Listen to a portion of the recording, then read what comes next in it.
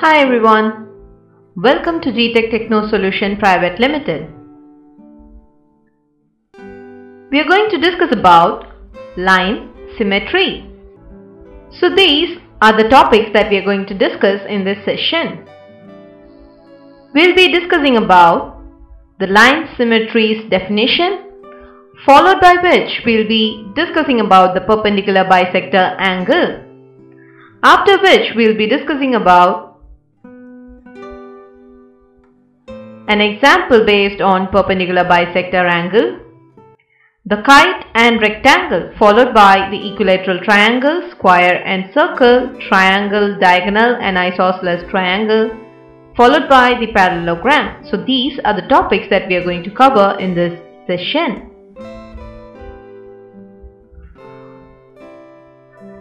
So let us see what is meant by line symmetry.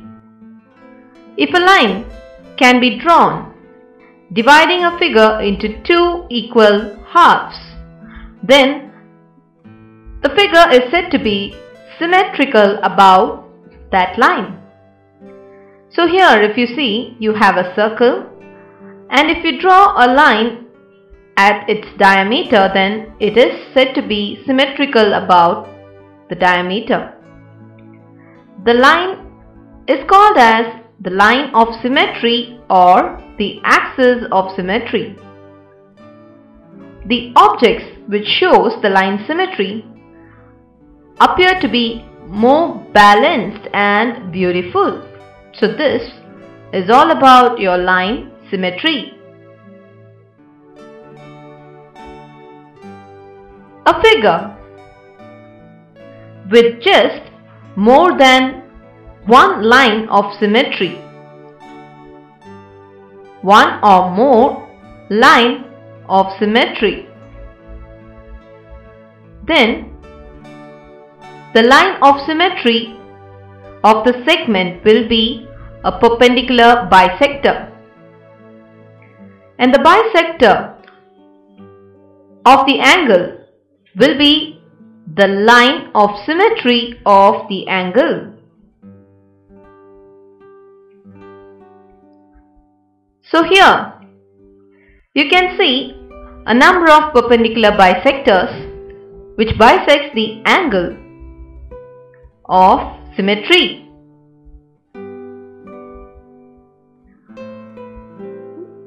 Here you have the real-time examples of line symmetry.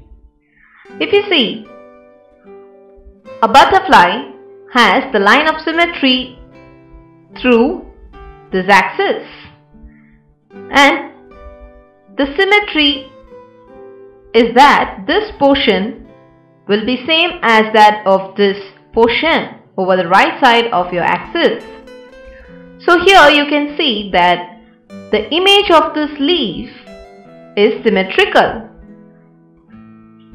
the region to the left of your symmetrical axis will be same as that of the region to the right of your symmetrical axis. And in certain cases, your flower will be symmetrical. You can see that the left side of the flower about the axis will look similar to that of the right side in size and shape as well. So this is known as symmetry. Next we are going to see that whether the dotted line on each letter represents a line of symmetry. You have to write whether it represents a line of symmetry or not by writing down S or no. Here if you see, if your alphabet C is having the symmetry about here, it is not symmetrical. Hence your answer is no. If the line of symmetry about the alphabet Q is over here, then it is not symmetrical it is not identical on either sides of the symmetrical axis. Whereas if you see in your alphabet A, The line of symmetry which is passing through here shows that the alphabet is symmetrical in the left and the right side. So this is how one can say whether the line of symmetry divides the image symmetrical or not. So your answer is yes.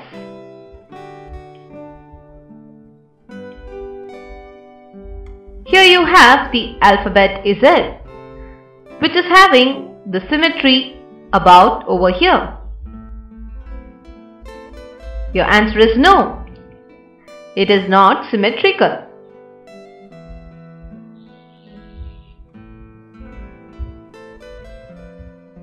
Next we are going to study about the kite. A kite is the shape which has only one line of symmetry which is along the diagonals. So if you see over here, about the symmetrical axis, your kite has the similar dimensions. Whereas your rectangle has two lines of symmetry.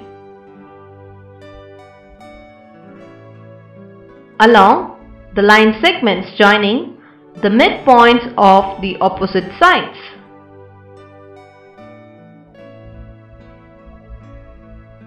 So this shows your rectangle has two lines of symmetry.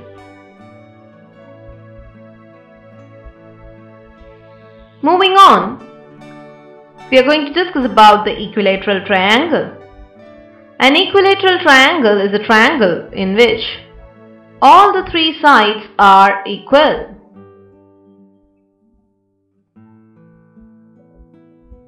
In traditional or Euclidean geometry. Your equilateral triangles are also equiangular, which means that all the three internal angles are congruent to each other and they are 60 degrees each. So here you can see that the angles are congruent to each other and they are 60 degrees each. An equilateral triangle has three lines of symmetry 1, 2 and 3 along the line segments which is joining the vertex and the midpoint of the opposite sides.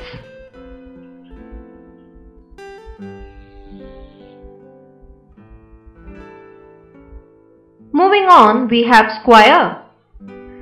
Square has four lines of symmetry along the diagonals and the line segments joining the midpoints of the opposite sides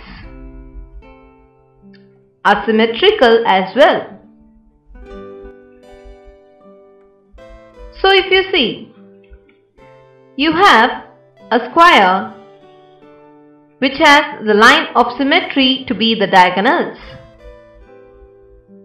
and the midpoints of opposite sides also makes the square symmetrical.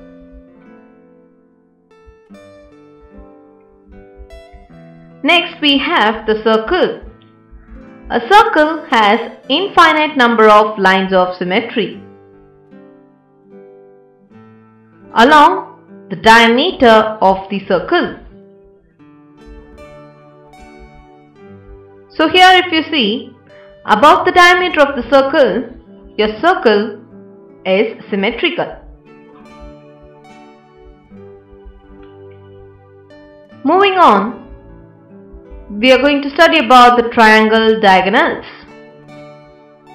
If you consider a rhombus, it has two lines of symmetry along the diagonals. So if you see, you have two lines of symmetry, 1 and 2 along the diagonals of a rhombus.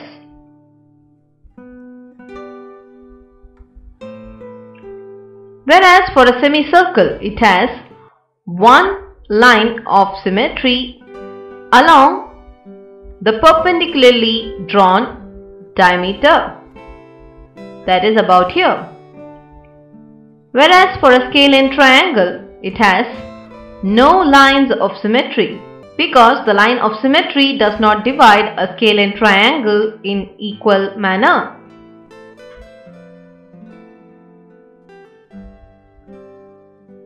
Next we are going to see about the isosceles triangle.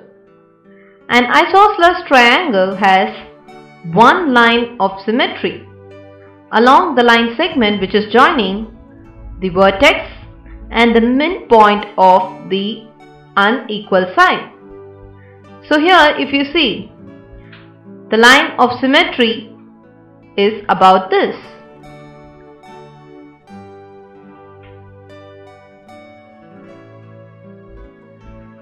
Next we have the parallelogram. A parallelogram has no lines of symmetry as